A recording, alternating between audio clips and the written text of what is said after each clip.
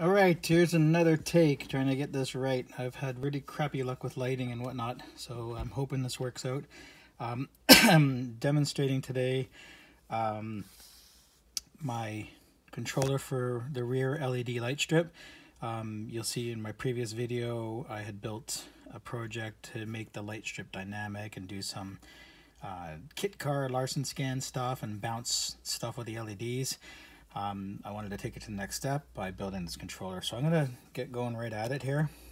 Essentially start this up here, show you what it's like. The Miata logo comes up. I apologize. The quality of the graphics are really crappy. Um, it doesn't render well on my phone, but they're actually quite crisp on the screen. So essentially this allows me to scroll through the different modes uh, that I can engage the LED light strip on.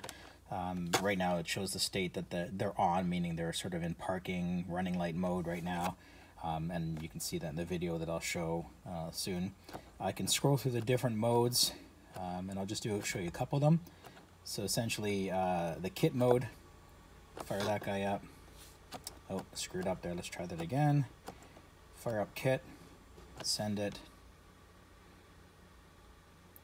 So that should show now um, in the back. It takes a little bit of time because there's a I've got a bit of a delay between these two communicating uh, the, the master here and the controller in the trunk. Um, uh, so that should be done now. Let's roll through the bounce. That's sent. And that should fire up now and show.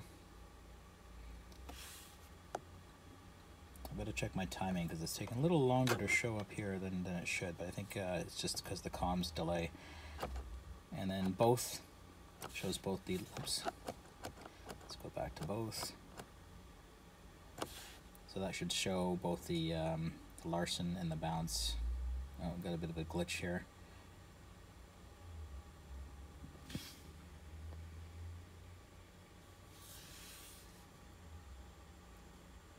And then when that's done, we have um, another mode that I'm not going to show, but it's a demo mode. This essentially shows, um, sorry, let me back up.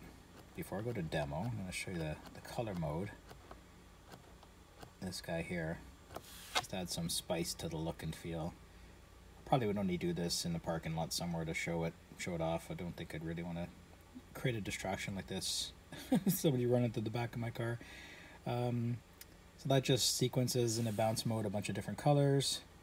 Um, and then the demo mode, as I mentioned, it just goes through all of those in sort of a demo mode so I can just fire it up to show people uh, how they all work together. So just sequences between them. Uh, I usually just leave it in, um, both mode here.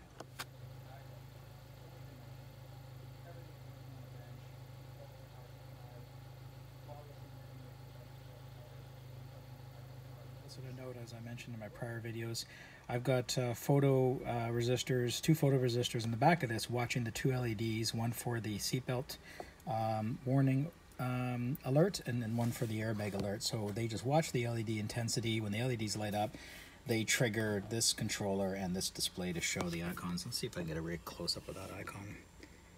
It's, uh, again, apologize for the quality. It just really quite sucks coming through my phone, but they are more crisp on the screen.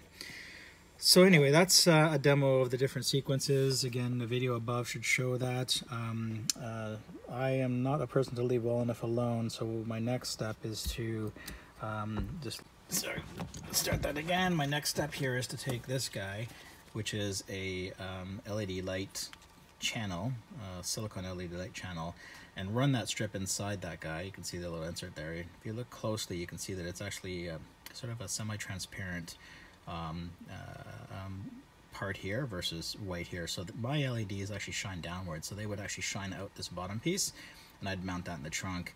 The goal is to remove sort of the individual, as they call them, pixels or LEDs showing as separate and have it more of a, a pipe of light that um, is more dynamic and more flowing. So I'm to try that in a little bit and I'll post another video of that if I have success. Um, so stay tuned. And also, as I noted before, I'm going to uh, blog about this build. I've already blogged about the build for the back controller that was originally Arduino Nano. Now they're both um, uh, ESP8266. They talk together, so I'm going to sort of do a phase two posting that talks about uh, both components and update the schematics for both of them. Uh, and post that uh, if anybody has the has the heart to um, tried to build this. It's, it's actually not that difficult. Electronics wise, it's really not that difficult. There's not a lot of components, but it is, you know, it's a bit of a leap of faith because you're, you're kind of chopping the shit out of the, um, uh, the console here with the push button that I've added. And again, the light, sorry for the lighting, it's not too hot right now. Uh, but you're chopping uh, that up or cutting that out to put this button in here. And here's not so bad. This all can be removed easily. It's just double-sided tape, the the uh, the overlay and the the OLED, and you know the other. Um, I think it, I call it a light pipe, but it's basically the the the static display unit uh, that shines the LEDs through. Easily can be put back in there, so it's not a big deal from that perspective. Um, anyway, thank you for watching. I appreciate a like and a subscribe, and uh, by all means, comment and question if you have them. Thanks a lot, everybody. Ciao.